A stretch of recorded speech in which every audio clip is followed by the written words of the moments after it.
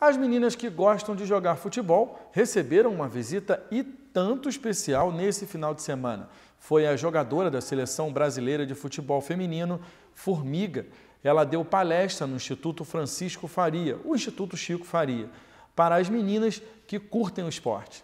Miraildes Maciel Mota, mais conhecida como Formiga, é a única jogadora de futebol feminino que participou de todas as edições dos Jogos Olímpicos desde que o esporte foi incluído na competição. Enfrentando grandes dificuldades ao longo da carreira, Formiga hoje em dia é ídolo de muitas meninas que sonham chegar onde ela chegou. Fico até um pouco emocionada assim, porque eu vejo, eu sei que tem muitas meninas aqui que têm um sonho que eu sempre tive, né? É, de, de ter um espaço para jogar, de poder mostrar para o mundo o meu talento, o dom que Deus me deu. E eu fico maravilhada em, em saber que muitas aqui realmente não tem só eu como exemplo, mas sim como as demais. Né? E feliz de poder passar essa coisa positiva para elas. Para a Formiga, o futebol feminino hoje tem um suporte bem melhor do que o do seu início de carreira, como por exemplo o do projeto Gol de Placa. É que eu venho sempre falando para as meninas até da base, né? Vocês hoje estão pegando a vaca um pouquinho bem gordinha, né? De quando eu peguei era só osso. Mas tudo isso vale o esforço, né?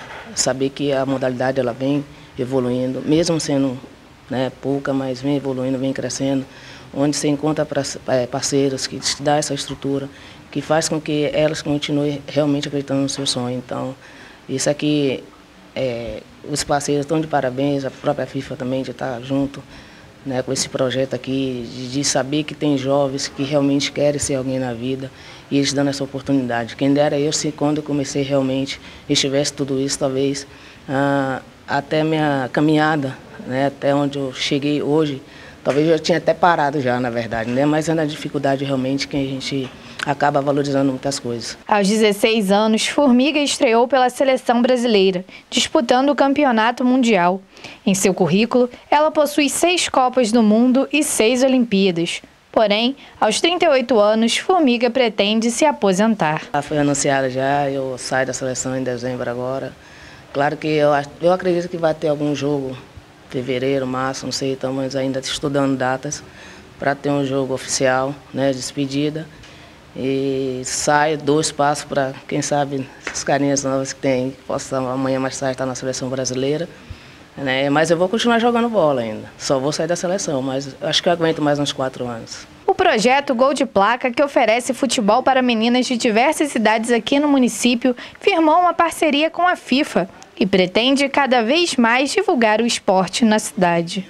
Então a gente não está pensando só no gol de placa, mas o gol de placa está proporcionando isso e a gente está é, tá vendo isso hoje aqui com a galera que está comparecendo e o nosso objetivo é esse, para que outros projetos, outras escolinhas também consigam aumentar o seu número de meninas para que a gente possa desenvolver esse esporte na cidade. Formiga ainda deixou um recado para as atletas e para os pais, que são fundamentais no desenvolvimento da carreira. O sonho ele, ele só se acaba quando a gente desiste, né?